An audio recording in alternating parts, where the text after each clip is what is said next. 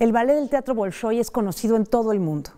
De hecho, la palabra Bolshoi, que en ruso significa grande, nos transporta a un escenario lleno de bailarinas en tutús corriendo con gracia. Hace honor a su significado además por tener unas dimensiones magníficas.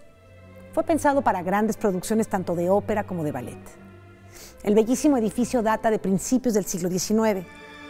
Hoy tiene varios escenarios, salones de ensayos, enormes bodegas y camerinos. La compañía de ballet cuenta con más de 200 bailarines, maestros, coreógrafos, dos orquestas y varios directores. Cada año se nutre con más de una veintena de jóvenes egresados de la prestigiada Escuela Coreográfica de Moscú.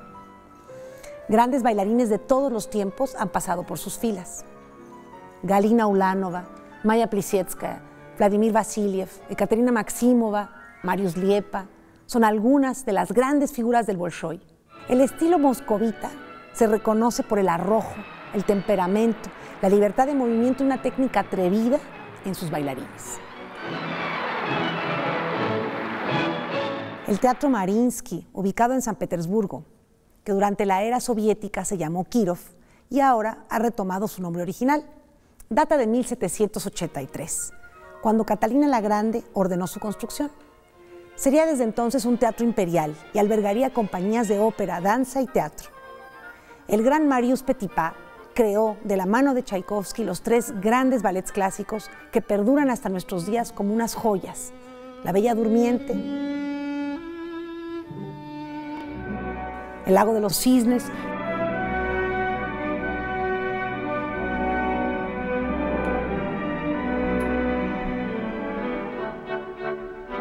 el Cascanueces.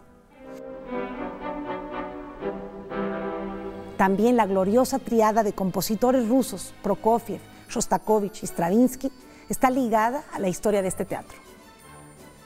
La prestigiada Escuela Vaganova es la encargada de preparar a los jóvenes que integran la más afamada compañía de ballet en el mundo. El estilo de los bailarines del Marinsky se reconoce por un purismo clásico inigualable. Academia y rigor absoluto son una marca inconfundible en sus bailarines. Más de dos siglos de tradición amparan la excelencia artística de su compañía de ballet.